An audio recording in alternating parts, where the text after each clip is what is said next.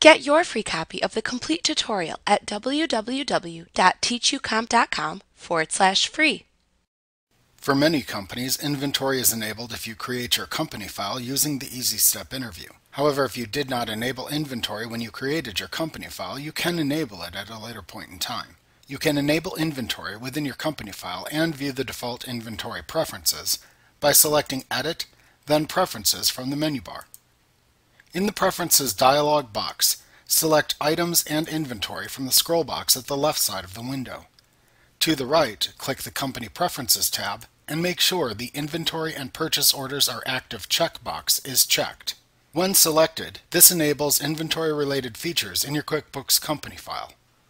Then set any additional default settings needed for inventory and items. Click the OK button to set your default inventory preferences when finished. If inventory is enabled, QuickBooks Desktop Pro uses the average cost method to determine the value of inventory.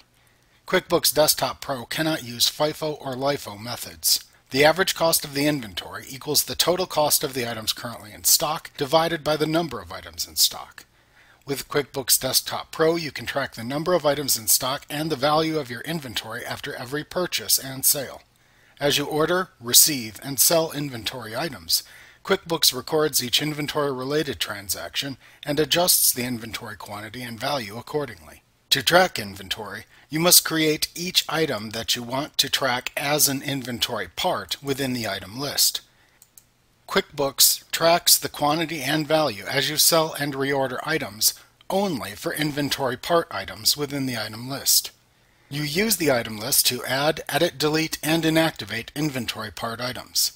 You can display the item list by selecting Lists, then Item List from the menu bar. Like what you see? Pick up your free copy of the complete tutorial at www.teachucomp.com forward slash free.